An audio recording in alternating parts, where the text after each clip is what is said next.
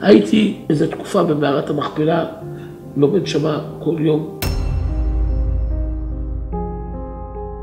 והיה שם המג"בניקים, חלקם דתיים, חלקם חילונים, אבל כמעט כולם שם היו מניחים תפילין, דהיינו.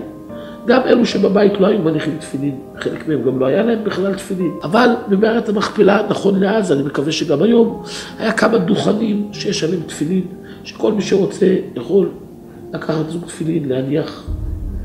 כמה זמן זה לוקח להניח תפילין? רגע, היו באים למשמרת, מניחים רגע תפילין ונכנסים למשמרת. אבל היו כאלו שלא רצו, בודדים. אבל היה אחד יוצא דופן, שהוא לא רק שהוא לא היה רוצה בשום אופן להניח תפילין, הוא גם היה מקנטר את אלו שכן מניחים, מבזה אותם. הוא היה קצין. יום אחד שמעתי אותו איך שהוא מדבר איתם קשות, אומר להם שהוא בחיים שלו לא הניח תפילין, והוא מבטיח להם גם לעולם לא להניח תפילין. עד הקבר הוא יגיע בלי תפילין. אמרתי לו, למה אתה ככה אומר? הוא אומר, הוא לא רוצה חיבור לתורה. אומר, זה לא רק תפילין, הוא אף פעם לא הניח. שום מצווה בתורה ובחיים שלו לא קיים במצוות של בן אדם למקום. מצוות בן אדם לחברו, לעזור למסכנים, זה הוא עשה הרבה פעמים. אבל מצוות שהן ביחס אל השם יתברך, הוא אף פעם לא קיים, והוא גם לא רוצה לעולם לקיים. שאלתי אותו, מה גורם לך כל כך בתקיפות כזאת לומר? הוא אומר, האימא שלו יהודייה והאבא שלו גוי. הוא יודע שעל פי ההלכה הוא נקרא יהודי, אבל זה לא מדבר אליו. אמרתי לו, אתה יודע מה זה תפילין בכלל? הוא אמר לי, בערך. אמרתי לו, אני רוצה להראות לך שאתה עוד חמש דקות תניח תפילין. הוא אמר לי, אתה בדמיונות, זה לא יהיה. אמרתי לו, לשמוע על תפילין אתה מוכן? הוא אומר לי, לדבר מה שאתה רוצה, חופשי חופשי. אמרתי לו, תסביר לי מה זה התפילין. הוא אמר, לוקחים שתי קופסאות. שמים אחת על היד, אחת על הראש, כתוב שם כמה דברים מהתורה, וזהו. אמרתי לו, אתה חיסרת. הוא אומר, מה חיסרתי? אמרתי לו, כשאנחנו עושים כמו שאתה אומר, שני דברים קורים.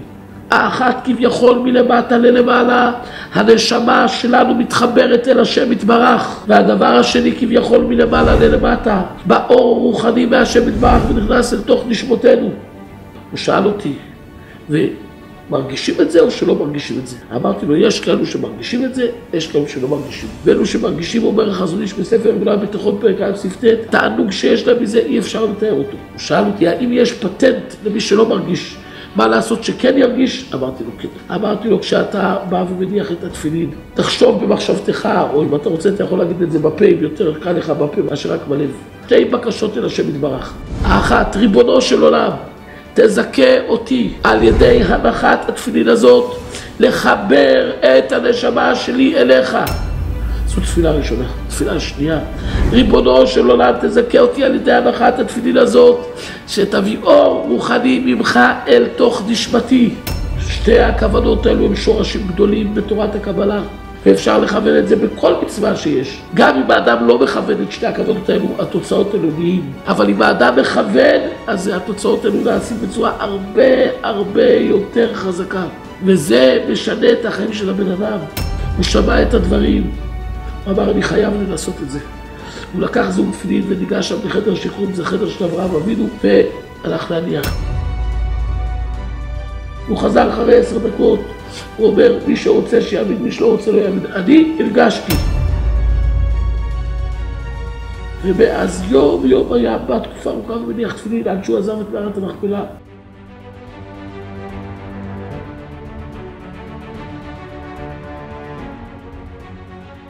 מה אנחנו רואים? אפילו אדם שהיה כל כך מרוחק, כל כך מנותק, הרגיש את עצמו בכלל בקושי כיהודי, לא היה מוכן לקבל שום דאג של היהדות. אבל ברגע שהוא הרגיש את האור הרוחני בנשמה, הוא אמר, את זה אני חייב. יום יום היה בא ומניח תפילין. זה הסוד של החיים, שמאחורי כל מה שנראה, כל הבלגן שיש בכל כדור הארץ, אנשים רצים קדימה, אחורה, לכל הכיוונים. יש סוד אחד שעומד מאחורי הכל, שהנשמות צמאות אל השם יתברך.